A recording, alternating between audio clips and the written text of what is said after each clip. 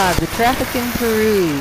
This is the silencio sign, which tells them not to use their horns. Not that anybody pays attention. There's my little green walking dude. I really liked him a lot. And then he turns into a red guy that just stands there. And then you come back to the little green walking dude. I really enjoyed him. Now, he was important to pay attention to if you were at an intersection because traffic's kind of dicey. These are the large buses. They just have a tendency to make their lefts from the right-hand side and their rights from the left.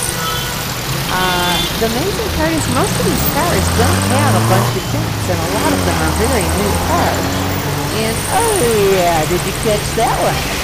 Let's do it again. That motorcycle making his left from the right-hand side in front of the car. The car didn't even beep at him.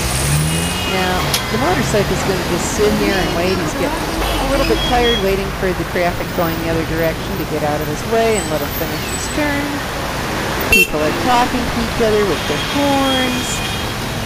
Um, plus, there's actually making a right from the right lane. They have a tendency to go out in the left lane and then make their right-hand turns. Now, here, the motorcycle gets a little tired and starts to work his way across. I did not get blood and guts. Oh, I got another car making a right from the left lane.